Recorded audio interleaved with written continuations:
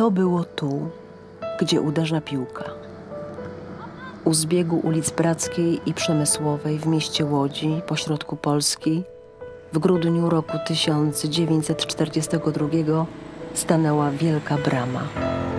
Cień był tam wtedy dłuższy niż domy i drzewa, czarny i zimny.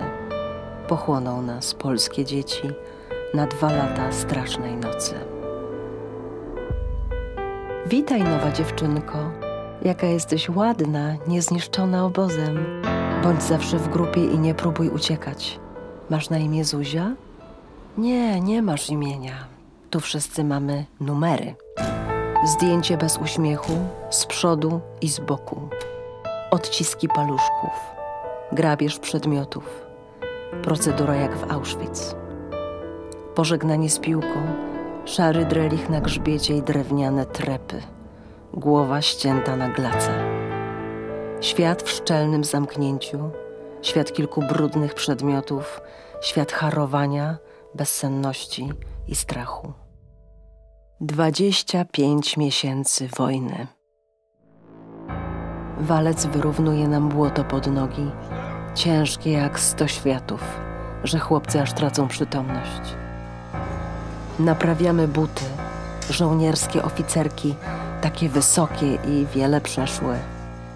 Warzywa i owoce w lagrowych ogrodach. Nam jeść nie wolno. My tu pielimy i głodujemy. Iglarnia. Igły długie, grube, oporne, fabryczne. Krzywe, a muszą być proste. Obieramy i kroimy. Jedzenie dla Niemców. Dla nas obieżyny i piasek na dnie kotła. Płoną nasze biografie, zwijają się w popiół niebytu, archiwa metryk i twarzy.